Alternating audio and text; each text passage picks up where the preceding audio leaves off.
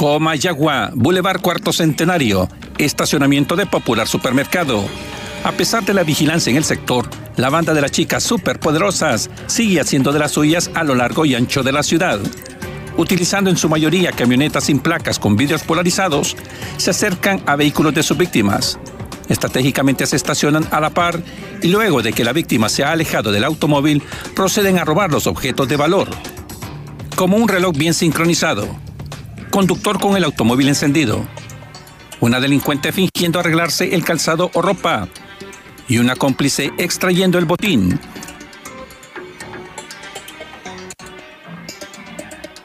En Comayagua, la ciudadanía sigue a merced de las chicas superpoderosas.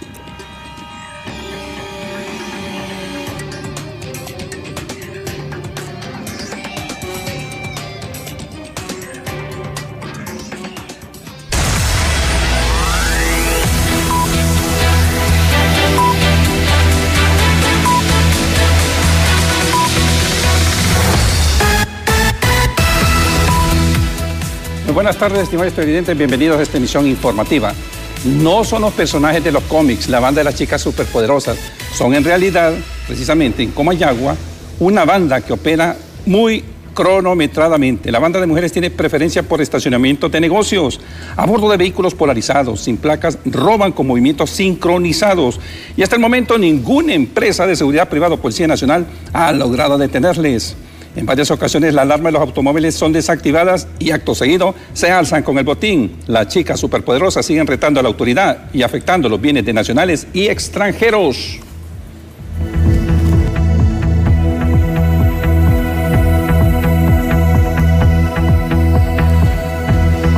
Bienvenidos a Impacto BTV Meridiano, gracias por su fiel sintonía. Hoy estamos en día viernes 20 de octubre. Nosotros iniciamos con la información presentando a ustedes los titulares.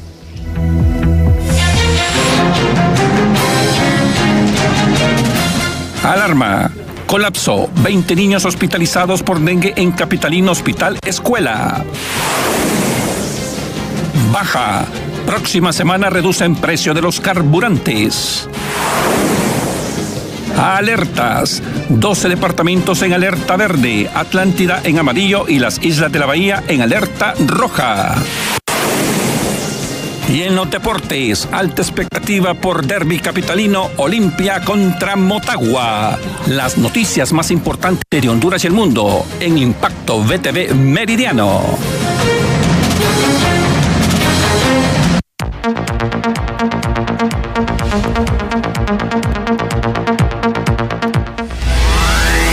Entramos en materia informativa y están colapsadas las salas del hospital escuela con niños contagiados de dengue. Para ampliar esta información hacemos un contacto a esta hora con nuestra compañera Merari Borjas.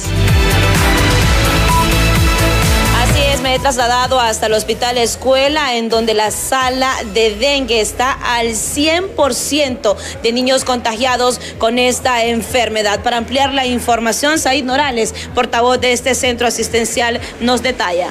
Así es, buen día. Hoy tenemos 15 de 15, estamos 100% colapsados la sala de dengue pediátrico de este centro asistencial. La capacidad de la sala son 15 pacientes pediátricos y en este momento tenemos los 15 ya hospitalizados en la sala de febriles. También tenemos cuatro pacientes en la sala de emergencia pediátrica, también siempre con síntomas de dengue y también tenemos un menor de edad provenientes del departamento de Comayagua en la unidad de cuidados intensivos pediátricos de este centro asistencial. Es decir, que hoy viernes tenemos 20 pacientes hospitalizados en las diferentes salas de dengue de este centro asistencial. También ya ya contabilizamos casi 600 pacientes que han sido hospitalizados en lo que va del año aquí en el Hospital Escuela. Y escuche bien, televidente, de ellos el 95% son pacientes pediátricos, son pacientes menores de edad. También ya contabilizamos 11 pacientes que han fallecido por causa de esta patología en el Hospital Escuela. 10 menores de edad, un adulto y lastimosamente ayer ya falleció una menor de tan solo 10 años de edad provenientes de la capital de, del del departamento de Francisco Morazán de la colonia Cabaña. Así que la población tomar todas las medidas necesarias para erradicar esta enfermedad. ¿Cuáles son esas colonias que están presentando mayor incidencia de casos? Son colonias como Villanueva, Villavieja, Colonia Zapote Norte, Colonia Cero Grande, Colonia Nueva Suyapa, Colonia Villa Vieja y también en este momento tenemos una leve alza de pacientes que vienen de la colonia Kennedy.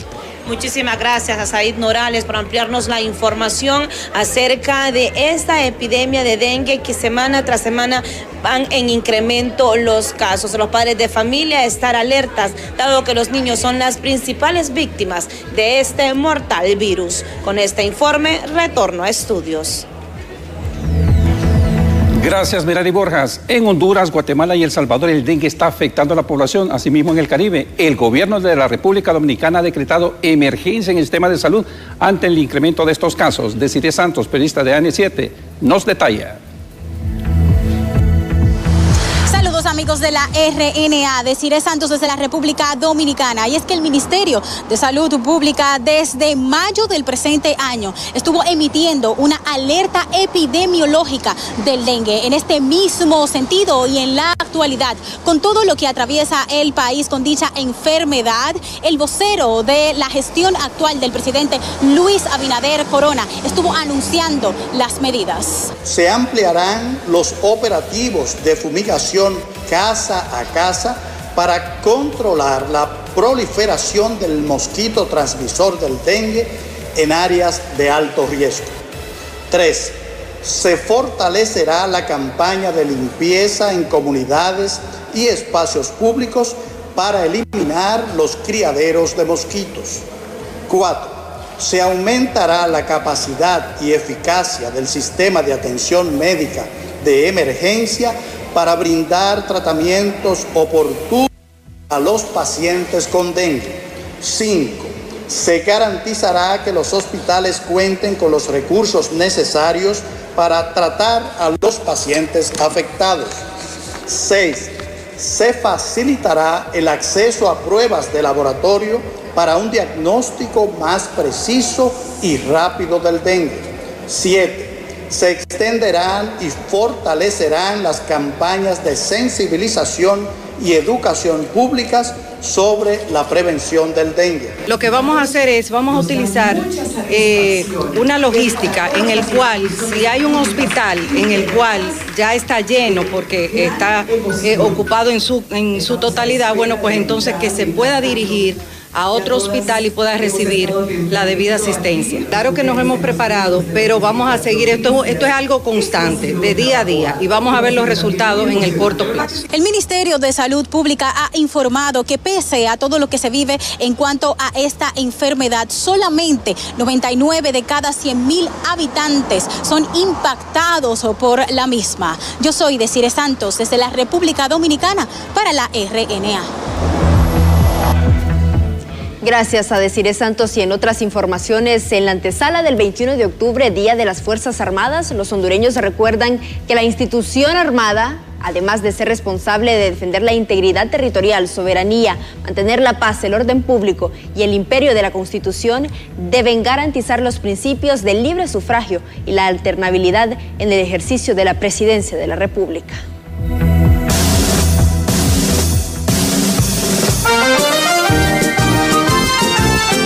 Fuerzas Armadas de Honduras son una institución nacional que se le celebra su día el 21 de octubre de cada año. Esta institución tiene como objetivo defender la integridad territorial y la soberanía de la República, así como mantener la paz, el orden público y el imperio de la Constitución. Nos remontamos eh, al año de 1825 cuando se formó el ejército, que es el año de fundación del ejército después de la independencia y posterior creación de la, de la República de Centroamérica. Todos los estados se vieron en la necesidad de tener un órgano de defensa para, para sus fronteras y fue en ese año en que se creó el ejército, en el año 1825.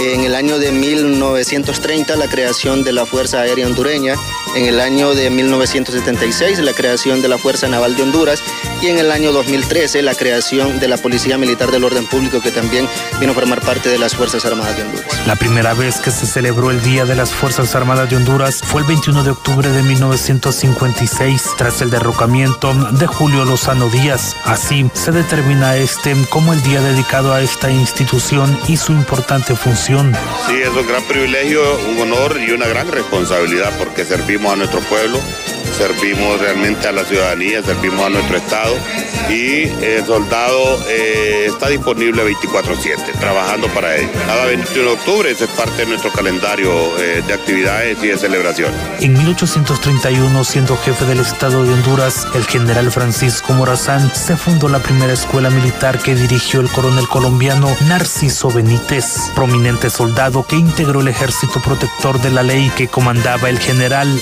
Morazán Quesada hace revivir ese deseo de que la institución eh, vuelva a ser lo que ha sido siempre, una institución apolítica no deliberante y que esté prácticamente eh, resguardando nuestras fronteras, ejerciendo el principio de soberanía y de igual forma eh, apoyar a toda la institucionalidad en los temas de salud, educación y esos han sido pues los pilares. El general Policarpo Paz García fue político y militar hondureño de alto relieve y con un gran aporte para las Fuerzas Armadas. A lo largo de la historia han habido diferentes líderes que han ocupado la máxima jerarquía de la, de la institución y que han sabido guiarla para llegar a ser la institución de, de, de respaldo y de orgullo que el pueblo hondureño puede tener.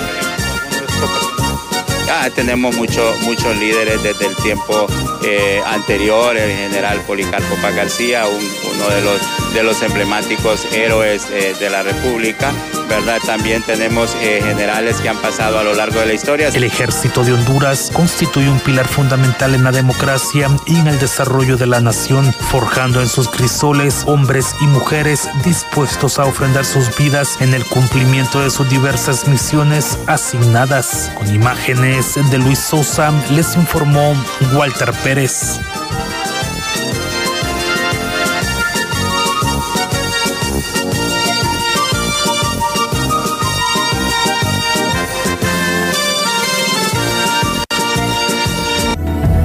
Miembros de la Policía Nacional y las Fuerzas Armadas llevaron a cabo una operación en Arizona, Atlántida con el objetivo de recuperar 1.296 hectáreas de palma de aceite. Según las autoridades, estas tierras han sido invadidas por grupos campesinos.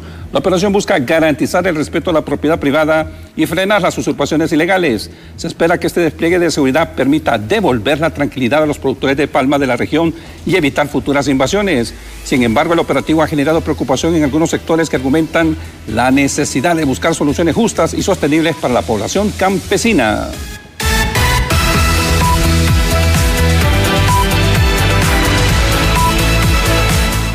En otras informaciones, el flagelo de la extorsión no termina y sigue afectando a diversos sectores que aportan a la economía del país, entre ellos el transporte.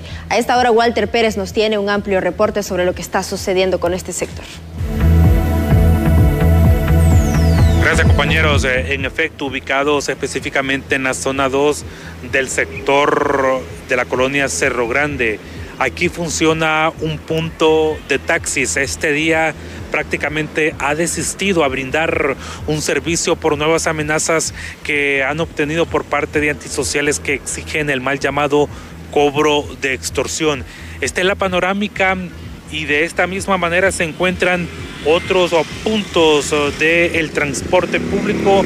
También el transporte interurbano se suma a la lista de rutas paralizadas, obviamente por este flagelo. Hablamos de una terminal de buses interurbanos que se ubica en el sector de la Kennedy, para ser más específico, al otro costado donde funciona el mercado Jacaliapa, esa terminal de autobuses hace unos hace unas horas atrás pues ha desistido a brindar un servicio a sus oh, clientes. Hablamos de la ruta Danlí El Paraíso esta terminal de autobuses pues prácticamente han recibido nuevas amenazas por grupos antisociales. También se suman ya cuatro días eh, de eh, la ruta que funciona en el mercado Jacaliapa, esta terminal de autobuses también de la ruta o que sus unidades se conducen hacia la zona oriental del país, también se encuentra paralizada sin brindar un servicio. Escuchemos al clase de policía Alberto Flores, quien se refiere al respecto. Sí, nosotros estamos en constante eh, apoyo, más que todo eh, al transporte público, a los usuarios, eh, y tenemos seguridad aquí, tanto como en puntos fijos, gente a pie, y tenemos patrullajes móviles en las patrullas, y estamos constante aquí desde amanecemos aquí, anochecemos aquí. Es importante que sea permanente, ya que la queja de la población es que dicen que cuando se va la autoridad regresan otra vez los delincuentes. Bueno, la verdad sí se le entiende a la ciudadanía, porque sí, grupos directivos de que amenazan a, la gente del transporte, tanto como a los usuarios también pero nosotros eh, mantenemos la seguridad de la mejor manera. Y... Con esta suman ya al menos 10 eh, puntos, eh, solo aquí en la capital que se encuentran paralizados por el flagelo de la extorsión. Son más de 50 millones que se pagan mensualmente por este flagelo de acuerdo a datos de los mismos transportistas, 44 operarios asesinados, prácticamente el sector transporte está trabajando en puntos rojos, declaraciones de los mismos afectados que no quisieron dar su identidad, obviamente por la amenaza que significa eh, pues eh, brindar una declaración, están temerosos de la inseguridad que viven actualmente los transportistas. Aquí el llamado es pertinente a las respectivas autoridades de la Secretaría de Seguridad al Gobierno de la República cambiar las medidas para poder hacerle frente a este flagelo que prácticamente está afectando a la economía del país. En mi reporte, compañeros, con ustedes. Gracias, Walter. Importantes mensajes. La señal ya están aquí. Es el mes del 6 y el 7. Matricule su vehículo con las placas terminación 6 y 7. Para más información, entre a www.ip.gov.hn. Gobierno del Socialismo Democrático.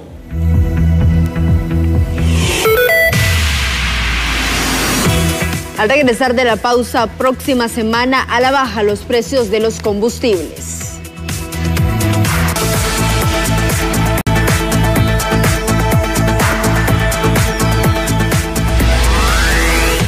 Gracias por continuar con nosotros y desde donde estamos hasta donde queremos llegar. Los hondureños siempre estamos conectados sin importar el lugar. Disfrutamos de navegar porque Honduras es territorio de la mejor señal para que podamos siempre crear, conectar, descubrir y compartir. Porque aquí hay Tigo, aquí hay señal. Haremos un contacto con José Luis Castellano. José Luis, hay una moción para que prosigan las sesiones legislativas hasta el mes de diciembre. Adelante con información. Buenas tardes. Así es, licenciado Jorge Bonilla. Muy buenas tardes y buenas tardes a los televidentes que nos sintonizan a esta hora. Efectivamente, varios puntos importantes desde el hemiciclo legislativo para iniciar con un tema bastante importante, vicepresidente Russell Tomé. El día de ayer se tenía previsto una reunión de junta directiva, qué fue lo que pasó, no se llevó a cabo porque en ella se iban a tocar temas bastante importantes. Muy buenas tardes. Sí, estamos con una actividad muy frenética en el Congreso. La Comisión de Presupuestos tenemos reuniones mañana y tarde. Ayer también teníamos reuniones con la Junta Directiva y hubo una reunión particular que pidió el diputado presidente Luis Redondo que estaba con eh, diputados del PCH que necesitaba un poco más de tiempo para seguir dialogando porque estamos en esos procesos de ir construyendo los eh, acuerdos para el proceso de la elección del fiscal general y fiscal adjunto. Hoy recibimos la UNICEF, hoy recibimos al ministro de Salud, ministro de Educación, la Secretaría de la Niñez y de Adolescencia, recibimos también a la Secretaría de Finanzas y todos acordamos que debemos de darle alta sensibilidad y prioridad al presupuesto para los niños y niñas. Son 3.500.000 jóvenes, niños y niñas que tenemos en el país. Para ellos necesitamos fortalecer psicólogos, necesitamos trabajar, eh, arreglar las escuelas, arreglar los hospitales, arreglar condiciones de merienda escolar. Hay un gran trabajo que estamos haciendo para que ese presupuesto impacte en beneficio de la niñez. Diputado, algo muy importante también que consultarle es, debido a esta paralización legislativa que se ha dado aquí en el Congreso Nacional, usted ha mencionado el hecho de presentar un decreto para ampliar este tiempo de legislación, ya que en el presente mes que estamos terminaría lo que es las sesiones de este 2023. Sí, necesitamos tener una reunión en estos días que falta del mes de octubre y aquí tenemos que lograr el acuerdo de todas las fuerzas políticas que necesitamos aprobar un decreto de ampliación de las sesiones del periodo ordinario de sesiones para poder habilitar el mes de noviembre y el mes de diciembre y que en estos meses sigamos trabajando.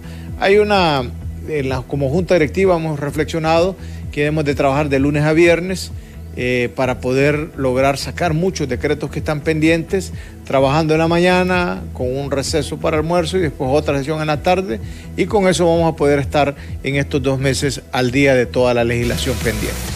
Para presentar este decreto se tendría que estar convocando una sesión ordinaria, pero sabemos cómo se están dando las situaciones ahorita actualmente, cuál es el plan o la estructura que tendrían para poder convocar y presentar este decreto, abogado. Bueno, estamos en ese punto. Todos sabemos, le estamos diciendo, la bancada de mi partido ya está consciente que la próxima semana tenemos que estar todos aquí en la capital, todos propietarios, suplentes, todo, toda la bancada del partido.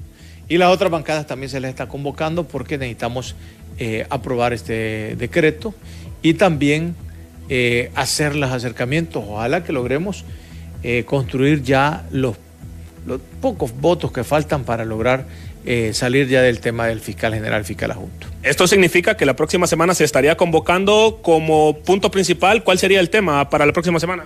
Tenemos los temas, la sesión está suspendida en el tema del fiscal general, fiscal adjunto. Pero obviamente que también es un tema prioritario la prórroga de eh, el periodo de sesiones del Congreso Nacional para seguir trabajando los meses de noviembre y diciembre. Perfecto, muchísimas gracias. El vicepresidente del Congreso Nacional, Russell Antonio Tomé, tal y como lo han escuchado, bueno, la próxima semana se estaría convocando. Hay temas bastante importantes en agenda. Sabemos que el tema de la elección del fiscal general y adjunto todavía no se han logrado los diálogos necesarios para poder retomar este punto tan importante, pero sí este, bueno, presentación de este decreto para poder ampliar el tiempo de legislación aquí en el Congreso Nacional. De momento, compañeros, esto es lo que les puedo informar. Retorno con ustedes. Gracias, José Luis. Nosotros nos mantenemos al tanto de lo que pueda surgir en relación a este tema. En otras informaciones, en la carretera CA4 en Mataraz, Sinuapa, en el departamento de Ocotepeque, una vía de comunicación en donde transitan carros pequeños, medianos y pesados. Con mucha frecuencia, los furgones y autobuses circulan a alta velocidad.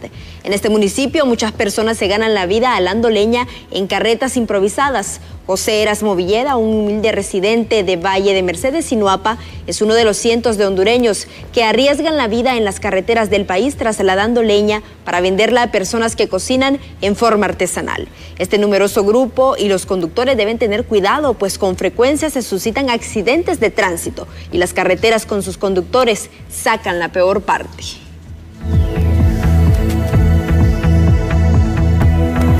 En riesgo está la salud de los hondureños. Esto se denuncia desde el Colegio de Farmacéuticos. Daniela Mejía nos tiene la información. Daniela, adelante, le escuchamos.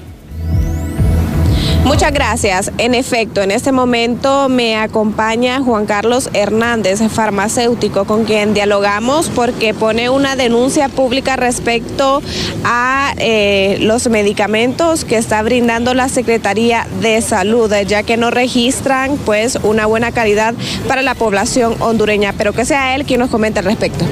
Bueno, muy buen día, licenciada, y siempre un saludo a toda la audiencia de BTV. Mire, esto nosotros es una denuncia que le hemos hecho de manera constante, al menos a título personal, e inclusive autoridades gremiales, tanto del Colegio Médico como del Colegio Químico Farmacéutico de Honduras, se lo han hecho saber expresamente al señor ministro que desde junio de 2022 no se analizan los medicamentos que la Secretaría compra, como manda el artículo 133 del Código de Salud, donde dice que el Laboratorio de Especialidades Farmacéuticas del Colegio de Químicos Farmacéuticos de Honduras es el laboratorio oficial para el análisis de medicamentos. La ley de contratación del Estado obliga a que la Secretaría mande a analizar todo lo que compra. Por cierto, esto no le cuesta al Estado de Honduras porque quien gana la licitación paga el análisis de calidad. El Colegio Químico Farmacéutico de Honduras y su laboratorio de especialidades farmacéuticas no aparecen en el presupuesto anual de la República, no le generan un costo al Estado, tienen todas sus certificaciones internacionales, sin embargo, y amparado, hay que decirlo, en el decreto de emergencia por la COVID-19,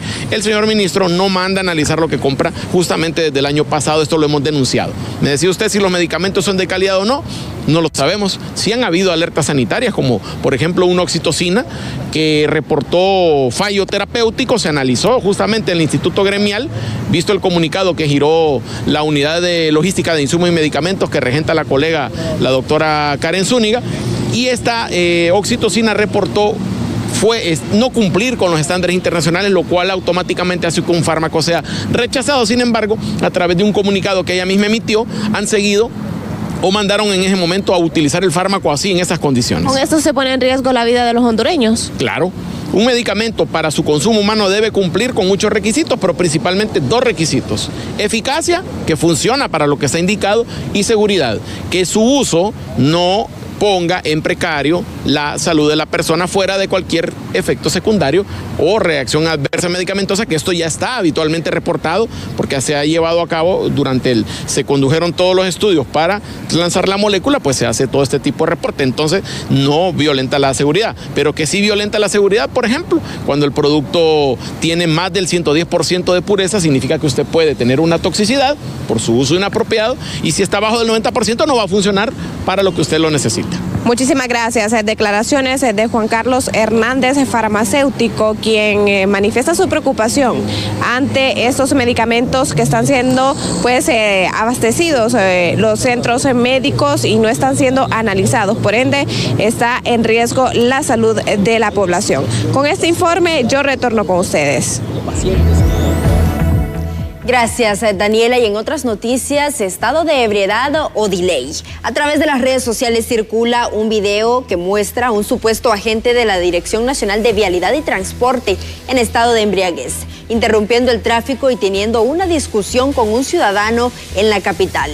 En las imágenes se observa este individuo vestido con tenis, ropa interior, una camiseta y un chaleco de tránsito, tratando de reparar un vehículo en mal estado y con el capó levantado. La divulgación de este material ha generado gran indignación y críticas hacia la institución antes mencionada.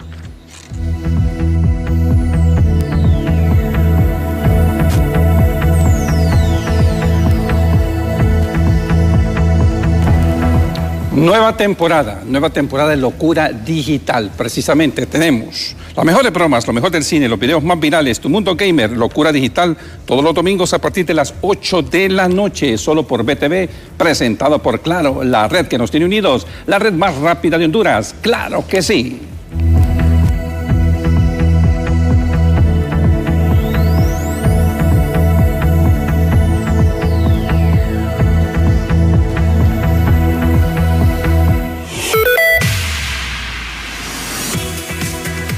Vamos a una pausa y al regresar sujeto es arrestado por abusar sexualmente de su hijastra.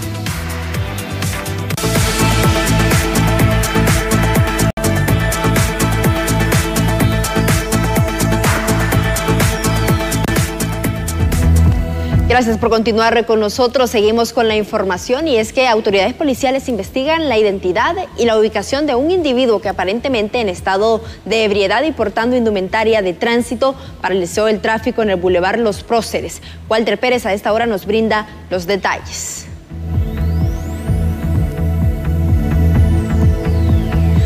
Gracias compañeros, me acompaña el portavoz de la Dirección Policial de Investigación, el subcomisario Juan Sabión. Bueno, se está investigando este caso, señor, de este ciudadano que portaba en su momento un chaleco con insignia de la Dirección Nacional de Vialidad y Transporte, aparentemente en estado de ebriedad aquí en el Boulevard Los Próceres. ¿Es agente o no es agente de la policía este ciudadano? Si nos amplía la información y aclara a la población, señor. Como siempre, agradecer la oportunidad al medio de comunicación de poder en esta ocasión aclarar a la población hondureña con respecto a un video que se viralizó el día de ayer donde se puede observar a una persona del sexo masculino en pantalonetas o chores o calzonetas como comúnmente lo conocemos y con un chaleco distintivo de la Policía Nacional de una de las direcciones de la Policía Nacional. En ese sentido, eh, queremos decirle a la población hondureña que ya como Policía Nacional estamos haciendo las investigaciones correspondientes para tratar de identificar a esta persona, ya que debemos de aclarar que no es miembro de la Policía Nacional y la indumentaria que él porta en ese momento, es decir, el chaleco, es un chaleco distintivo de una de las direcciones de la Policía Nacional y que ese tipo de indumentaria es de uso exclusivo para miembros de la Policía Nacional. ¿Cae en delito este caballero al portar este, esta indumentaria? Efectivamente, eh, es un delito el portar indumentaria de uso policial eh, para personas que no están ligadas a la institución policial, como es el caso de este señor, que no es miembro de la institución policial y porta un chaleco exclusivo para miembros de una dirección de la Policía Nacional. Lo comentaba esta cámara que ya se está investigando quién es este ciudadano y también ubicando al mismo.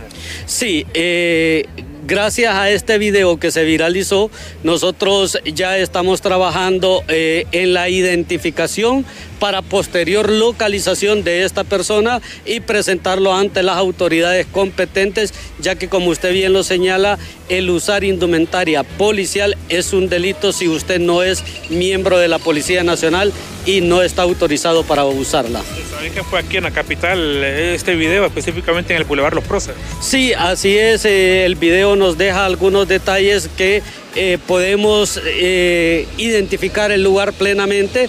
Es en el Boulevard Los Próceres de la ciudad capital donde se da esta situación. Muchas gracias. El subcomisario Juan Sabión de la Dirección Policial de Investigaciones. En mi reporte, compañeros, junto a Luis Sosa con ustedes. Artículo 473 establece de dos a cuatro años que ese ciudadano podría pasar en la cárcel. Por otra parte, el haber presentado hasta el momento requerimiento fiscal contra expedientes y otros funcionarios solo denota la intención de usar UFERCO como medio de protección para algunos profesionales. UFERCO eh, tenía o gozaba de alguna credibilidad en el pueblo hondureño, pero incluso esta última acción, todos sabemos, miren, los abogados, la población, los periodistas saben que ahí lo que hicieron fue precisamente buscar un medio de protección como lo hicieron ya con un político famoso de Honduras, que le crearon un, un caso, un proceso penal de defraudación fiscal para poder impedir que eh, fuera entregado en extradición a los Estados Unidos, porque lo iban a pedir, lo pidieron y no se pudo entregar y el proceso se lo dejaron abierto hasta que ese personaje falleció acá en Honduras por otras circunstancias. Pero no podemos desconocer que aquí la intención es clara y lo que se busca es precisamente proteger directamente a una persona. Pues, En otras noticias, gestión de riesgos incrementó a 12 los departamentos en alerta verde y también extendió la alerta amarilla y roja. Para ampliar esta información, nos contactamos ahora mismo con nuestra compañera Merari Borjas. Así es, estoy ubicada en Copeco para informar a nuestros televidentes acerca del pronóstico de lluvia y el cambio de alertas que Copeco ha emitido en las últimas horas. Para ello me acompaña Juan José Reyes, el jefe de alertas temprana. Sí, muchísimas gracias. Bueno, eh, vamos a tener eh, influencia de lluvias para el fin de semana. Esto es producto de eh, los remanentes del Frente Frío que nos dejó cinco o seis días de lluvia y alguna influencia de introducción de humedad por el Pacífico. Vamos a mantener siempre la alerta roja en el departamento de Islas de la Bahía, en amarilla el departamento de Atlántida y Colón, ahí se pueden concentrar lluvias y ha quedado muy vulnerable el terreno.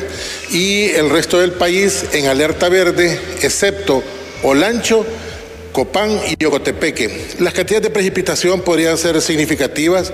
Debemos de ser conscientes que tenemos un río Huascorán que con poca lluvia aumenta su caudal e inunda, e inunda las zonas del sector del Cubulero. Tenemos un nivel de saturación de suelo muy elevado, especialmente en el litoral. La zona occidental no se queda atrás. Así es que todas estas condiciones son con el objetivo de que las alertas le permitan a la población tomar medidas de prevención. Lamentablemente se perdieron tres vidas en Islas de la Bahía con este frente frío por un deslizamiento y esa es la estadística que no queremos que siga en aumento. Por lo tanto, los alertamientos a eso nos llevan. ¿Por cuánto tiempo se han emitido estas alertas? Bueno, tenemos una nueva dinámica en Copeco con respecto a los tiempos de alertamiento. Va por 24 horas. No queremos hacer alertas por más tiempo porque todos los días es prudente revisar los pronósticos, es prudente revisar los ríos, es prudente revisar cómo está la condición en el país. Por eso lo hacemos cada 24 horas. Eh, sin embargo, desde ya podemos decir que vamos a mantener las alertas durante el fin de semana. Va a ser un fin de semana lluvioso con algún poco de, de temperatura fresca durante la noche importante no cruzar ríos, quebradas o vados o hacer situaciones que pongan en peligro la vida de las personas. ¿Qué departamentos registran ya mayor incidencia dado a las lluvias que han estado afectando el país? Bueno, hemos tenido problemas en Islas de la Bahía. Ahí fueron cualquier cantidad de árboles colapsados, eh, inundaciones urbanas, deslizamientos, el fallecimiento de tres personas, eh, daños a vehículos, a muros, a casas, a techos, también en el sector de la Ceiba y en otros sectores del país. Lo importante es que la Dirección de Preparación y Respuesta ha dado eh, respuesta inmediata valga la redundancia, con asistencia humanitaria a todos aquellos lugares donde hubo una situación por las lluvias. Muchísimas gracias a Juan José Reyes por ampliarnos la información, esta alerta a la población, ya que quedan 12 departamentos en alerta verde, dos en amarilla e Islas de la Bahía en rojo. Con este informe, retorno a estudios. Gracias, Merari Borjas. Capturan a una femina de 46 años quien presuntamente es una criminal dedicada a la venta de estupefacientes en el mismo sector donde fue arrestada con un saco de mezcal color rojo conteniendo hierba seca, marihuana, aproximadamente 4 libras de bolsas aparente también de otros estupefacientes.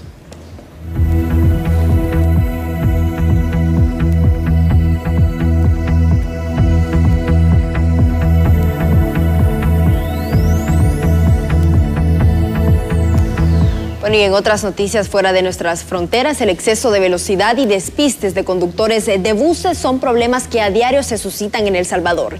El más reciente ocurrido en la carretera hacia Playa El Cuco, Cantón, El Capulín, Agua, en San Miguel, dejó 50 heridos y el número de muertes asciende con los días. El colega Moisés Bonilla de la red Alba Visión con el informe.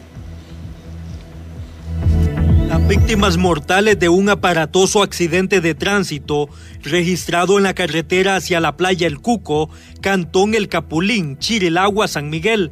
Las autoridades detallaron que las personas se conducían en la ruta 383 cuando el motorista perdió el control del autobús, volcando en la vía.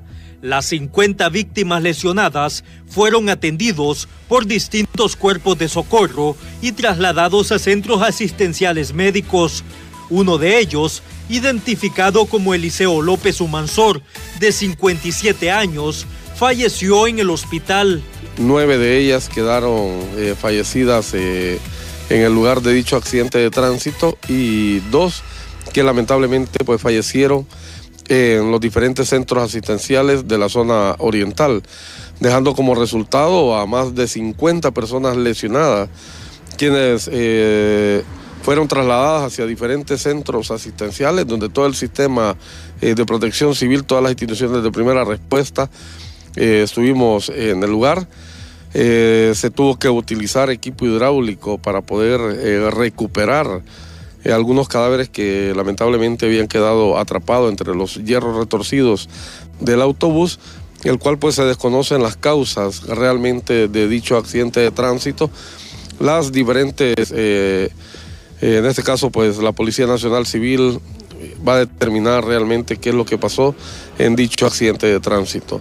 Las personas que se vieron involucrados en el siniestro son parte de la Iglesia Apóstoles y Profetas del Cantón El Tamarindo La Unión y se dirigían hacia un sepelio en San Dionisio Usulután. Una de las víctimas fue el pastor de esa congregación evangélica, informó Moise Bonilla. Buenas noticias. Por tercera semana consecutiva disminuyen los precios de los combustibles. Las bajas van desde 3 lempiras hasta 43 centavos. Le damos lectura a la tabla en Tegucigalpa. La gasolina superior de 111.22 rebaja 2 lempiras con 97 centavos. La regular de 97.59 rebaja 3 lempiras con 9 centavos. El querosén de 92.96 rebaja 1 lempira con 38. El diésel de 104.56 rebaja 1 lempira con 13 centavos.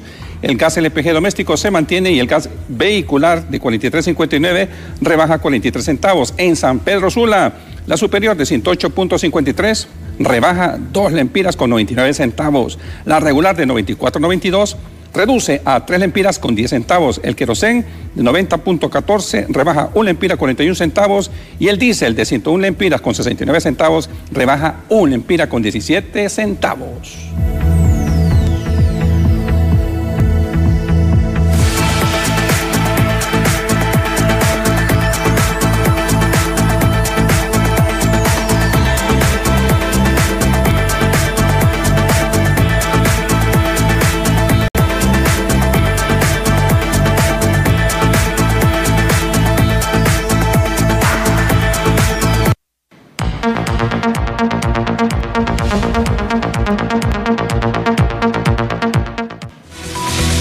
Gracias por continuar con nosotros. Y preocupación invade los pensamientos de pacientes renales en San Pedro Sula si la ley nacional renal es derogada. ¿Qué impacto traerá? Mariela Manzanares nos cuenta.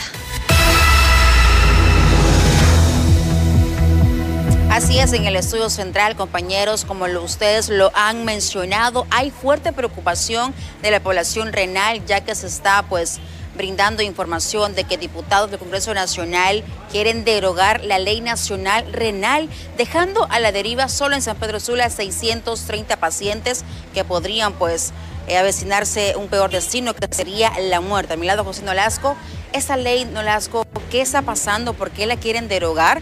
Y básicamente ustedes quedarían a la deriva. Buenas tardes. Muy buenas tardes, gracias por el espacio y en efecto, nosotros los pacientes renales hemos sido golpeados por desabastecimiento de medicamentos, eh, por eh, licitaciones ilegales, la verdad, para querer meter empresas de maletín y hoy posteriormente pues también eh, nuestra ley que nos ha costado lucha, nos ha costado lágrimas, nos ha costado la muerte de muchos compañeros y que se ha peleado en las calles, ha llegado la, la, propuesta de algunos diputados para poder derogarla o modificarla tal vez a la conveniencia. Y eso nos preocupa porque ha sido una de las banderas que nosotros hemos enarbolado para exigir algunas de las que hoy en día mejoras que tenemos los pacientes renales del sector público. Y es que aún con la ley implementada para mucha población renal, ha sido un sacrificio de años poder asistir a diálisis, realizar los medicamentos, compras de tal. Sin esa ley, básicamente, pues sería un sueño imposible poder dializarse. Sí, prácticamente, eh, como usted lo acaba de manifestar, aún contando con una ley que nosotros nos ampara, nos avala, no hemos podido aún todavía tener un tratamiento integral. Y ya posteriormente, si estos diputados eh, que están promocionando, que quieren hacer modificaciones o derogar nuestra ley, vamos a ir a un caos prácticamente, porque esa ha sido nuestra exigencia. De ella nos hemos amparado, la hemos enarbolado para poder ir a exigir ante todas las autoridades incompetentes y nefastas de nuestro país. ¿Qué se podría esperar si se llega a ejecutar la derogación de esta ley? ¿Qué acciones tomarán ustedes como representantes de la población renal aquí en San Pedro Sula? De hecho, ahorita tenemos una socialización respecto a todo esto, eh, lo que es con pacientes y familiares para dar a conocer y ya prácticamente pues eh, empezar a hacer un plan también porque somos 4.000 pacientes a nivel de país y no vamos a permitir que eh, tal vez diputados con intereses personales o, empresariales quieran hacer esta modificación o derogar esta ley y en donde nosotros, como vuelvo y repito, nos ha costado lágrimas, sudor, eh, sobre todo pues hasta la muerte de muchos compañeros y vamos a pelear a capa y espada lo que ha sido nuestra ley renal. Para culminar, ustedes manejan información de quiénes son esos diputados que están iniciando básicamente poder derogar esa ley. Eh, prácticamente eh, de quienes hemos escuchado pues eh, esta, esta moción ha sido del doctor Carlos Umaña, de la doctora Suyapa Figueroa, pues que han querido hacer modificaciones, lo que es en nuestra ley, en el cual pues sin contar con los verdaderos pacientes, que cuáles son las mejoras que ellos posteriormente quizás quisieran hacer en ella. muchísimas gracias. Escuchamos en ese momento a José Lolasco, presidente de Alvar, aquí en San Pedro Sula, reacciones en torno a la afectación que se dejaría para la población renal si esta ley es derogada por los diputados del Congreso Nacional. te vuelvo al set principal. Gracias. Hacemos un contacto con Ricarte Orellana. Hay problemas administrativos que están afectando la región sanitaria occidental. Ricarte, adelante con la información. Buenas tardes, eh, compañeros de los estudios principales de BTV. Me acompaña el, edil Aníbal Erazo Alvarado. Aníbal, muy importante eh, que la municipalidad esté dando el aporte al sector salud ya para la inauguración de esta unidad biomédica. Sí, bueno, muchas gracias. Eh, hoy pues se está entregando esta unidad biomédica y lógicamente pues nosotros hemos aportado una cantidad de, es poco, 80 mil empiras en, en, cuestión de, materiales, pero también en los cuando se hizo los descombros de todo el material que se quitó, se mandó la maquinaria, volquetas, personal. Y yo creo que puede estar agendiendo ya los meros, el dato real puede estar agendiendo unos 150 mil empiras, ¿verdad? Pero lo importante no es lo que se aporte, lo importante es que ya vamos a tener una, eh, una clínica para mejorar las condiciones de salud y de hecho el agradecimiento a Camo, que es el, que, el aportante grande acá. Aquí eh, han habido aportaciones del Congreso, que quiero, quiero agradecer al diputado Javier Trigueros también, ¿verdad? porque aportó de parte del Congreso la cantidad de 100 mil empiras, pero son fondos del Congreso. igual manera, nosotros, la aportación de nosotros son fondos municipales, ¿verdad? no son del alcalde. Y, y de hecho, pues lo importante es que, que tenemos eh, ya el mejoramiento de la salud en el Hospital de Occidente y, siempre, siempre, para mí Camo es el brazo derecho de la salud en Santa Rosa de Copán y si no hubiese, si no fuera Camo, creo que este, yo creo que este hospital estuviera todavía, pero ya estuviera por desaparecer, ¿verdad? Y, y yo creo que ese hay que hacer un momento de reflexión porque yo creo que apostarle a la salud y a la educación es una, no es un gasto, es una inversión. Ahora, también la municipalidad absorbe gastos eh, en cuanto a recetas, eh, reparación de eh, centros de salud y una variedad de, actividades que realiza la municipalidad directamente al sector salud. No, eso es exagerado. Si solo, solo antier actualicé 27 recetas, 27 recetas de medicamentos. habían unas de 7 mil empiras, medicamentos de 7 mil empiras. Entonces, eh, es cantidad lo que estamos ayudándole a la población, gente que va al hospital, gente que va al centro de salud. Ayer lo decía públicamente yo, más de 2.000, más de 2.700 mujeres las hemos atendido en los últimos tres años con la, con la prevención en el cáncer de mama. Entonces eh, es parte de lo nuestro y, no solamente eso, ya se, ya se tiene el aparato acá, el navegador, que es para hacer las operaciones en el cerebro, para cualquier tumor, que alguna enfermedad que tenga alguna persona en el cerebro.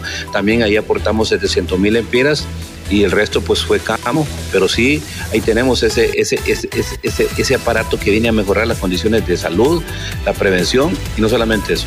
Son tres en Honduras y uno en Santa Rosa de Copán. Así que hay que sentirlos satisfechos, alegres, no orgullosos, sino que satisfechos. Bien, gracias al señor alcalde Aníbal Eras Alvarado, referente pues a esta aportación que ha hecho la municipalidad en cuanto al sector salud, no solamente acá, sino en otros sectores y en otros sésamos. Ese es mi contacto a esta hora de la tarde, retorno a los estudios principales de BTV. Gracias, Ricardo Orellana. Y siempre en temas de salud, por segundo día consecutivo se lleva a cabo la Brigada Médica contra el Cáncer de Mama en el Hospital Escuela. Marisol Ramos nos informa cómo avanza esta actividad. Así es, compañeros. Estoy con la doctora Jessica Zelaya para hablar de esta brigada médica que se lleva a cabo por segundo día consecutivo en el Hospital Escuela. Cuéntenos cómo va hasta ahora esta, eh, esta brigada médica. Sí, muy bien. Eh, a la fecha llevamos 68 pacientes evaluadas, eh, de las cuales más o menos de 10 a 15 mamografías y en estas más o menos unos 5 ultrasonidos, porque los ultrasonidos son complementarios en pacientes que tienen mamas densas. De estas aproximadamente dos a tres están sospechosas, altamente sospechosas de malignidad, están pendientes de realizar sus estudios de biopsias. ¿De qué edades son estas dos pacientes? Una anda más o menos en 48 años la otra como en 53 años. Generalmente la, incidencia del cáncer de mama anda entre los 50 a los 60, 70 años, pero últimamente estamos viendo casos también en, pacientes jóvenes. Hemos tenido un caso de una paciente de 22 años que estaba embarazada y que al momento de su evaluación eh, se diagnosticó un cáncer de mama. Entonces por eso es importante que las pacientes estén pendientes de los cambios que se dan en su cuerpo y que deben recurrir a evaluaciones estas pacientes que están en sospecha tienen familiares con indicios de cáncer de mama? Mire, generalmente no hay antecedentes. Antes se pensaba que siempre habían factores de riesgo, pero últimamente los casos no están relacionados a estos factores la invitación a las eh, hondureñas que nos están viendo a asistir a esta brigada que todavía se está llevando a cabo eh, para todas las personas que necesiten saber si están libres de cáncer de mama o no. Sí, les motivamos y les invitamos a, asistir a la consulta externa de ginecología. Durante la próxima semana esta, esta brigada va a terminar el 25 de octubre eh, para que usted se acerque a la consulta externa de ginecología para que nosotros podamos evaluarla y podamos salir de la duda y realizar los estudios que requiera. Bueno, muchas gracias. Y como ya escuchamos, si usted quiere saber si tiene o no tiene cáncer de mama, puede asistir antes del 25 de octubre aquí al Hospital Escuela que se les estará atendiendo. Con esta información yo vuelvo con ustedes a estudios.